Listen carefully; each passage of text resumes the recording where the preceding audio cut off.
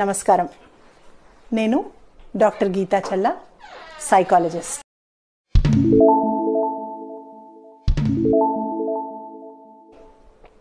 listening to nature music ఇది nature music అనగానే చాలా మీకు ఇప్పుడు ఈ మధ్యలో గూగుల్లో మీరు జస్ట్ గూగుల్లో నేచర్ మ్యూజిక్ అని టైప్ చేస్తే మీకు చాలా మ్యూజిక్స్ వస్తూ ఉంటాయి.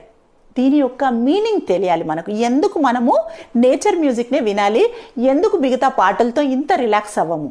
అంటే అన్ని మ్యూజిక్లు మంచివే కానీ నేచర్ మ్యూజిక్ ఎందుకు మంచిదంటే దీన్ని మనం ఏమంటామంటే ఒక రకమైన అంటే ఎలాంటి ఆర్టిఫిషియల్ సౌండ్స్ లేకుండా నేచర్ నుంచి వచ్చిన పక్షుల చప్పుళ్ళు కావచ్చు వర్షం చప్పుడు కావచ్చు లేదా ఒక ఆకులు యూనో రాలుతున్న చప్పుడు కావచ్చు ఇలా ఒక విండ్ చప్పుడు ఇలా అన్ని నేచర్లో ఉన్న లేదా మన ప్రకృతిలో ఉన్న చప్పుళ్ళను కలిపి చేస్తున్న సౌండ్స్నే మనము నేచర్ మ్యూజిక్ అంటాము. దీన్ని రెండు రకాలుగా మీరు చూడొచ్చు. మొదటిది నేచర్ మ్యూజిక్ని మీరు వింటూ అంటే చెవులో మీరు ఇవి పెట్టుకొని ఇయర్ ఫోన్స్ పెట్టుకొని నేచర్ మ్యూజిక్ వినుకుంటూ ఉండొచ్చు. అంటే ఇది మళ్ళీ చెప్తాను మీరు ఎక్కడున్నా మీరు ఇయర్ ఫోన్స్ వాడుకుంటూ కాసేపు నేచర్ మ్యూజిక్ వినండి మీరు అక్కడున్న పరిస్థితుల్లో మిమ్మల్ని మీరు జాగ్రత్త పరచుకోగలరు.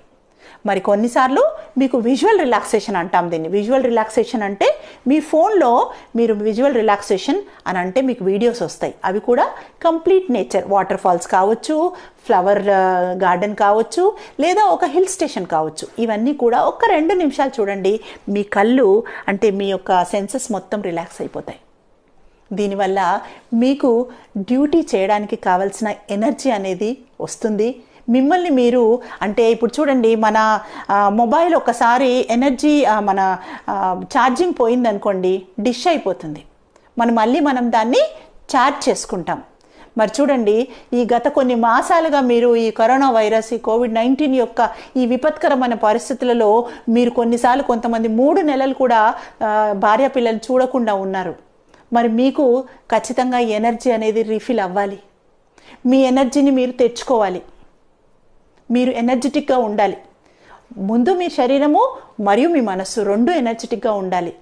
అందుకే మీరు ఈ ఆహారం అంటే ఫుడ్ విషయంలో కావచ్చు లేదా వాటర్ ఇంటేక్ విషయంలో కావచ్చు రెస్ట్ విషయంలో కావచ్చు లేదా ఎక్స్క్రిషన్ అంటే పొట్టకి కావలసినంత ఫైబర్ని మీరు ఇస్తూ రోజు మీరు ఈ ఎక్స్క్రిషన్ అనేది జరగాలి.